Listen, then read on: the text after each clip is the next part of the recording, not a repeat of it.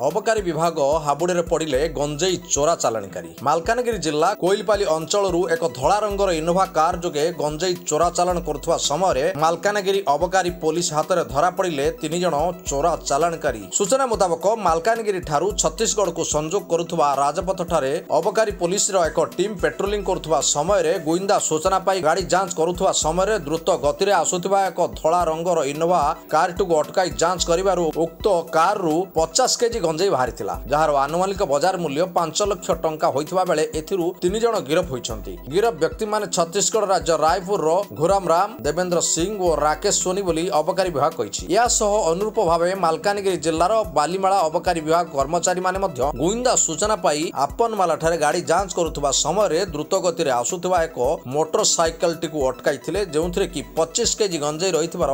ଅବକାରୀ ବିଭାଗ କର୍ମଚାରୀମାନେ ଦେଖି ଦୁଇ ଜଣଙ୍କୁ ଗିରଫ କରିଥିଲେ। ଜବତ ଗଞ୍ଜେଇର ଆନୁମାନିକ ବଜାର ମୂଲ୍ୟ ଦୁଇ ଲକ୍ଷ ଟଙ୍କା ହୋଇଥିବା ବେଳେ ଏହି ଚୋରା ଚାଲାଣରେ ସାମିଲ ହୋଇଥିବା ଦୁଇ ଜଣ ବ୍ୟକ୍ତିଙ୍କ ମଧ୍ୟରୁ ଜଣେ ପ୍ରତାପ ବଗାମୀ ହୋଇଥିବା ବେଳେ ଅନ୍ୟ ଜଣେ ନବରଙ୍ଗପୁର ଜିଲ୍ଲା ରାଇଘର ଥାନା ଅଞ୍ଚଳର ଏବଂ ଅନ୍ୟ ଜଣେ କୋରାପୁଟ ଜିଲ୍ଲାର ଦଶମନ୍ତପୁର ଅଞ୍ଚଳର ଇନ୍ଦ୍ରଜିତ ବିଶ୍ଵଇ ବୋଲି ଜଣାପଡ଼ିଛି। ତେବେ ଏହି ପାଞ୍ଚ ଜଣଙ୍କୁ ଗିରଫ କରାଯାଇ ମେଡିକାଲ ଚେକଅପ୍ ପରେ କୋର୍ଟ ଚାଲାଣ କରାଯାଇଥିବା ସୂଚନା ଦେଇଛନ୍ତି ଅବକାରୀ ନିରୀକ୍ଷକ। ତେବେ ଆଗାମୀ ଦିନରେ ମାଲକାନଗିରି ଜିଲ୍ଲାରେ ଗଞ୍ଜେଇ ଚାଷ ଉପରେ ମଧ୍ୟ ସମ୍ପୂର୍ଣ୍ଣ ଭାବରେ ଲଗାମ ଲଗାଯିବା ସହ ଜିଲ୍ଲାକୁ ଗଞ୍ଜେଇ ମୁକ୍ତ ଜିଲ୍ଲା ଭାବରେ ପରିଣତ କରି ଏକ ନୂଆ ଇତିହାସ ସୃଷ୍ଟି କରିବାକୁ ପ୍ରଚେଷ୍ଟା କରାଯାଉଥିବା ଅବକାରୀ ବିଭାଗ ପକ୍ଷରୁ ସୂଚନା ଦିଆଯାଇଛି। ଏବଂ ଅବକାରୀ ଅଧିକାରୀ ଶ୍ରୀ ବିମ୍ବାଧର ପଣ୍ଡାଙ୍କ ନିର୍ଦ୍ଦେଶ କ୍ରମେ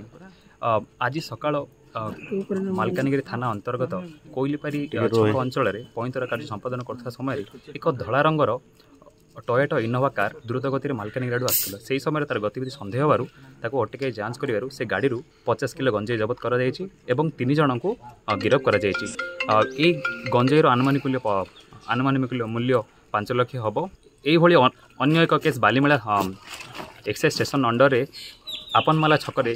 କରାଯାଇ ଏଥିରେ ତେଇଶ କିଲୋ ଗଞ୍ଜେଇ ଜବତ କରାଯାଇଛି ଏହାର ଆନୁମାନିକ ମୂଲ୍ୟ ଦୁଇ ଲକ୍ଷ ତିରିଶ ହଜାର ହେବ ବୋଲି ଜଣାପଡ଼ିଛି ଟୋଟାଲ କେତେ ଆକ୍ୟୁଜ ଏକୋଇଶ ଅ, ପାଞ୍ଚ ଜଣ ସମୁଦାୟ ଗିରଫ କରାଯାଇଛି ଅ, ଗୋଟିଏ ଟୟୋଟା ଇନୋଭା କାର୍ ଆଉ ଗୋଟିଏ ପଲ୍ସର ଏନ୍ଏସ୍ ମାଲକାନଗିରି ଜିଲ୍ଲାରୁ ହୃଷିକେଶ ସେଠୀଙ୍କ ରିପୋର୍ଟ କାମିଆବ ଟିଭି